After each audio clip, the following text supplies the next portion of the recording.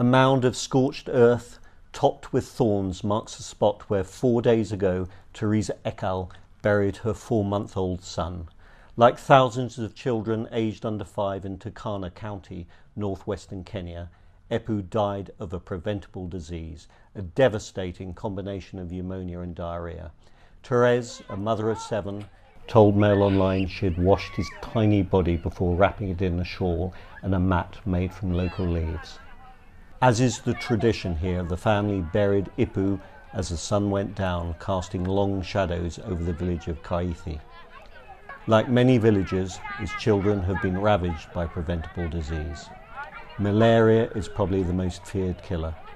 Mosquitoes strike each night in the mud huts villages call home. Every child has had malaria at least once. Mary Tickwell, a mother of four, lost her seven month old daughter Eliman to the killer. They attack in the cool of night, she told us. We have no defence. Mosquitoes are everywhere. She took us to Eliman's grave, another small mound of baked earth, this time topped with stones. It's our life here, she said.